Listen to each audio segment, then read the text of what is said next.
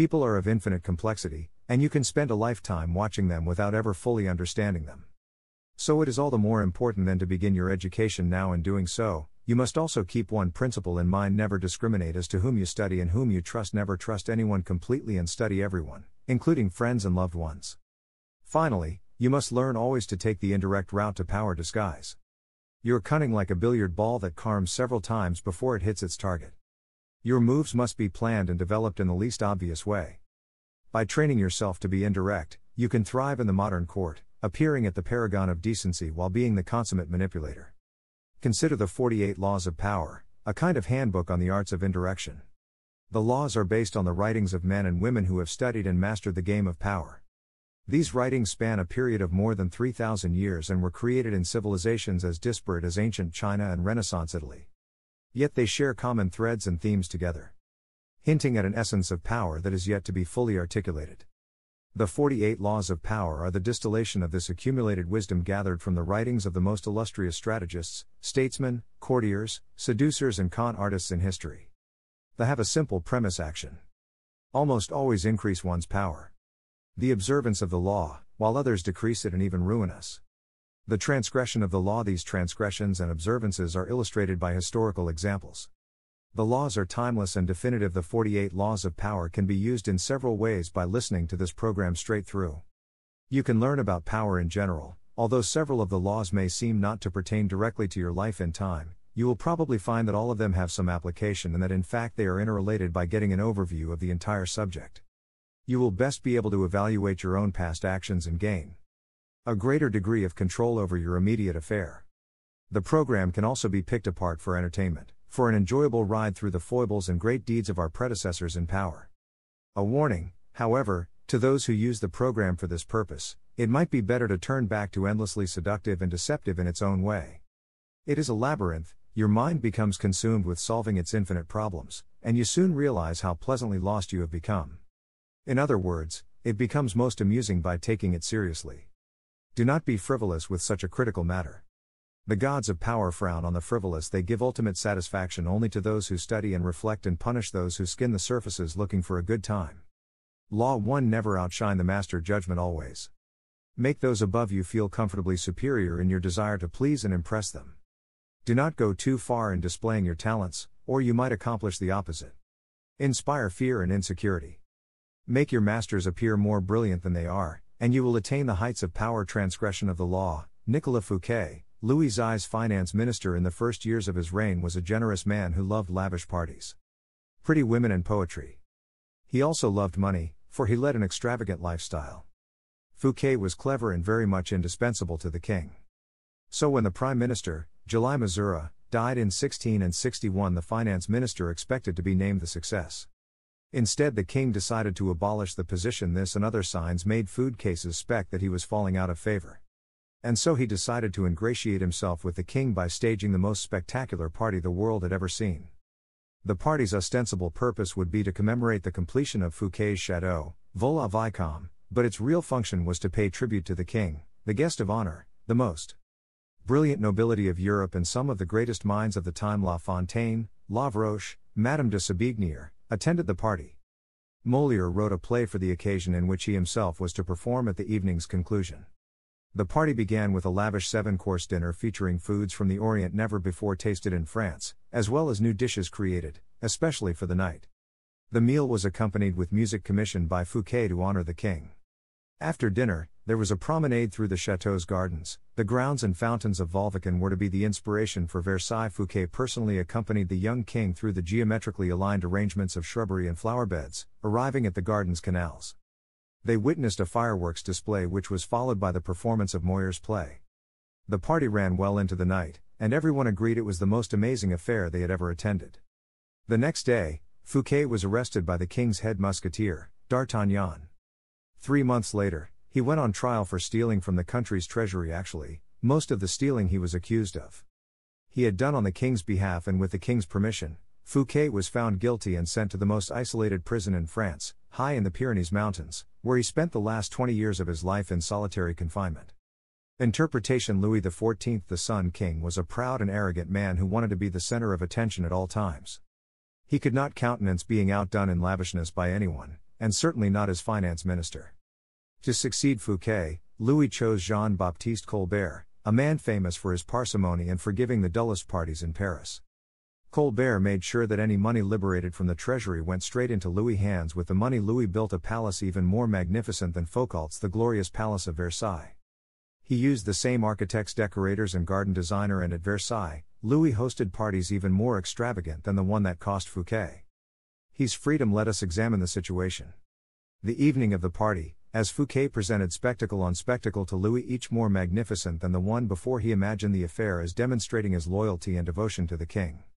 Not only did he think the party would put him back in the king's favor, he thought he would show his good taste, his connections, and his popularity, making him indispensable to the king and demonstrating that he would make an excellent prime minister instead.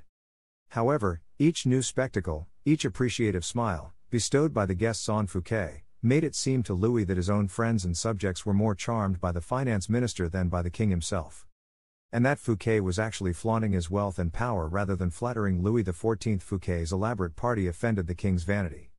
Louis would not admit this to anyone, of course. Instead, he found the convenient excuse to rid himself of a man who had inadvertently made him feel insecure. Such is the fate in some form or other of all those who unbalance the master's sense of self, poke holes in his vanity, or make him doubt his preeminence. Observance of the law in the early 1600s, the Italian astronomer and mathematician Galileo found himself in a precarious position. He depended on the generosity of great rulers to support his research, and so, like all Renaissance scientists, he would sometimes make gifts of his inventions and discoveries to the leading patrons of the time. Once, for instance, he presented a military compass he had invented to the Duke of Gonzaga. Then he dedicated a book explaining the use of a compass to the Medicis. Both rulers were grateful, and through them, Galileo was able to find more students to teach, no matter how great the discovery. However, his patrons usually paid him with gifts, not cash. This made for a life of constant insecurity and dependence. There must be an easier way, he thought. Hit on a new strategy in 1610 when he discovered the moons of Jupiter.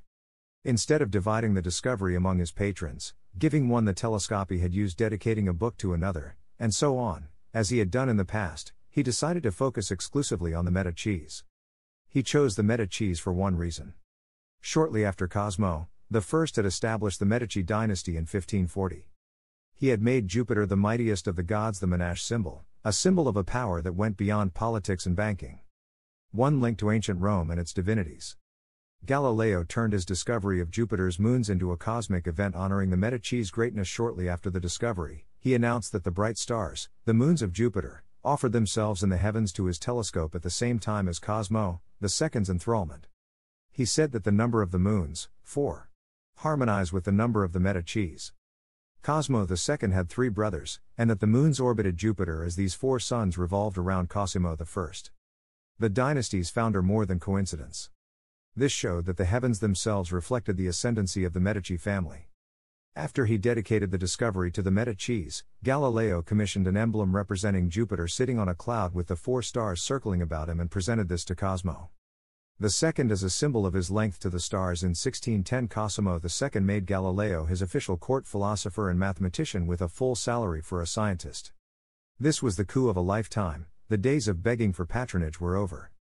Interpretation in one stroke, Galileo gained more with his new strategy than he had in years of begging. The reason is simple.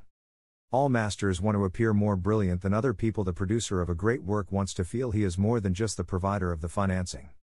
He wants to appear creative and powerful, and also more important than the work produced in his name instead of insecurity. You must give him glory. Galileo did not challenge the intellectual authority of the Medicis with his discovery, or make them feel inferior in any way by literally aligning them with the stars who made them shine brilliantly among the courts of Italy.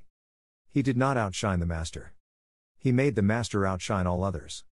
Keys to power when it comes to power outshining the master is perhaps the worst mistake of all. Do not fool yourself into thinking that life has changed much since the days of Louis XIV and the Medicis. Those who attain high standing in life are like kings and queens. They want to feel secure in their positions and superior to those around them in intelligence, wit, and charm. It is a deadly but common misperception to believe that by displaying and vaunting your gifts and talents, you are winning the master's affection. He may feign appreciation, but at his first opportunity he will replace you with someone less intelligent, less attractive, less threatening, just as Louis XIV replaced the sparkling Fouquet with the bland Colbert, and as with Louis, he will not admit the truth, but will find an excuse to rid himself of your presence. This law involves two rules that you must realize. First, you can inadvertently outshine a master simply by being yourself. There are masters who are more insecure than others, monstrously insecure. You may naturally outshine them by your charm and grace. No one had more natural talents than Astor Manfredi, Prince of Faenza, the most handsome of all the young princes of Italy. He captivated his subjects with his generosity and open spirit in the years in the year 1500 Cesare Borgia laid siege to Faenza. When the city surrendered, the citizens expected the worst from the crew of Borgia, who, however, decided to spare the town. He simply occupied its fortress, executed none of its citizens, and allowed Prince Manfredi 18 at the time to remain with his court in complete freedom a few weeks later, though, soldiers hauled Astor Manfredi away to a Roman prison. A year after that, his body was fished out of the river Tiber, a stone tied around his neck. Borgia justified the horrible deed with some sort of trumped up charge of treason and conspiracy. But the real problem was that he was notoriously vain and insecure. The young man was outshining him without even trying. Given Manfredi's natural talents, the prince's mere presence made Borgia seem less attractive and charismatic. The lesson is simple. If you cannot help being charming and superior, you must learn to avoid such monsters of vanity. Either that or find a way to mute your good qualities when in the company of a Cesare Borgia. II. never imagine that because the master loves you, you can do anything you want. Entire books could be written about favorites who fell out of favor by taking their status for granted, for daring to outshine knowing the dangers of outshining your master. You can turn this law to your advantage. First, you must flatter and puff up your master. Overt flattery can be effective, but has its limits. It is too direct and obvious and looks bad to other courtiers. Discreet flattering is much more powerful. If you are more intelligent than your master, for example, seeing the opposite make him appear more intelligent than you act naive. Make it seem that you need his expertise, commit harmless mistakes that will not hurt you in the long run, but will give you the chance to ask for his help. Masters adore such requests.